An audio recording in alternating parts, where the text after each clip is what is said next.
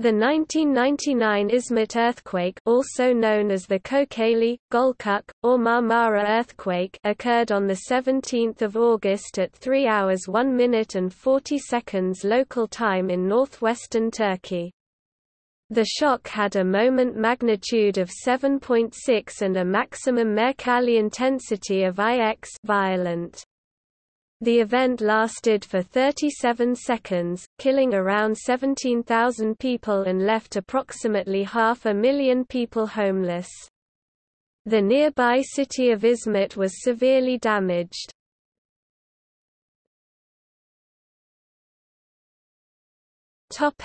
Earthquake The earthquake occurred along the western portion of the North Anatolian Fault Zone NAFZ. The Anatolian Plate, which consists primarily of Turkey, is being pushed west about 2 to 2.5 centimeters (0.8 to 1.0 in) a year, as it is squeezed between the Eurasian Plate to the north and the Arabian Plate to the south. Major earthquakes in Turkey result mainly from slip along the NAFZ or the East Anatolian Fault. The Izmit earthquake had a rupture length of 150 kilometers (93 miles) extending from the city of Düzce all the way into the Sea of Marmara along the Gulf of Izmit.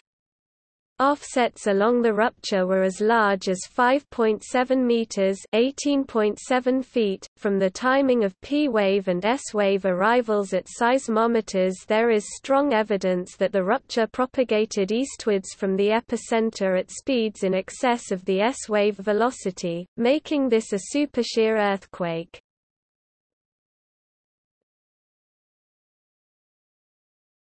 Topic: Damage Destruction in Istanbul was concentrated in the Avcılar district to the west of the city. Avcılar was built on relatively weak ground mainly composed of poorly consolidated Cenozoic sedimentary rocks, which makes this district vulnerable to any earthquake.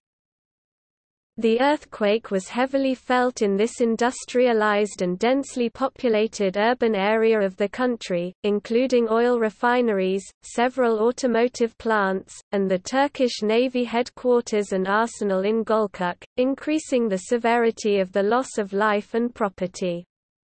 The earthquake also caused considerable damage in Istanbul, about 70 kilometers (43 miles) away from the earthquake's epicenter. An official Turkish estimate of October 19, 1999, placed the toll at 17,127 killed and 43,959 injured, but many sources suggest the actual figure may have been closer to 45,000 dead and a similar number injured.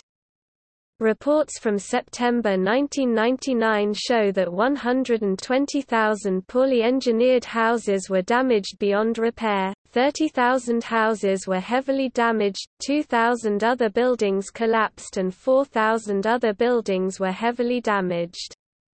300,000 people were left homeless after the earthquake.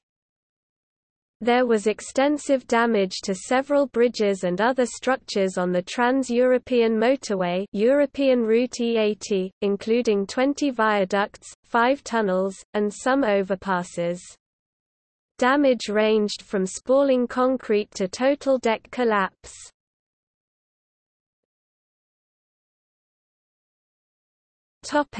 Fire The earthquake sparked a disastrous fire at the Tüpraş petroleum refinery. The fire began at a state-owned tank farm and was initiated by naphtha that had sloshed out of a holding tank. Breakage in water pipelines, results of the quake, nullified attempts at extinguishing the fire. Aircraft were called in to douse the flames with foam. The fire spread over the next few days, warranting the evacuation of the area within three miles of the refinery. The fire was declared under control five days later after claiming at least 17 tanks and untold amounts of complex piping.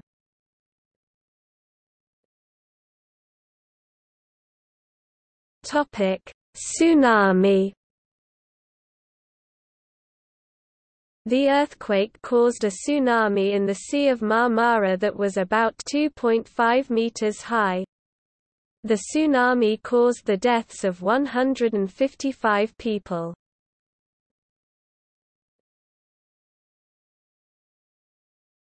Topic: Response A massive international response was mounted to assist in digging for survivors and assisting the wounded and homeless.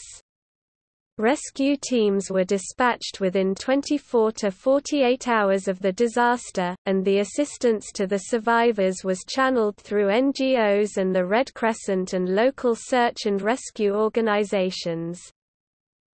The following table shows the breakdown of rescue teams by country in the affected locations. Search and rescue effort as of August 19, 1999. Source: Poseidon Total. Rescue teams from 12 countries assisted in the rescue effort. Oil Spill Response Limited were activated by BP to deploy from the United Kingdom to the Tüpraş refinery where their responders successfully contained the previously uncontrolled discharge of oil from the site into the sea. The UK announced an immediate grant of £50,000 to help the Turkish Red Crescent, while the International Red Cross and Red Crescent pledged £4.5 million to help victims. Blankets, medical supplies and food were flown from Stansted Airport. Engineers from Thames Water went to help restore water supplies. India also assisted by providing 32,000 tents and 2 million rupees to help in the reconstruction process. US President Bill Clinton and Pakistani Prime Minister Nawaz Sharif later visited Istanbul and Izmit to examine the level of destruction and meet with the survivors.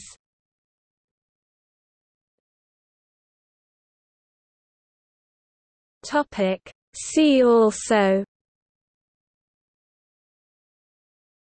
List of earthquakes in 1999 List of earthquakes in Turkey.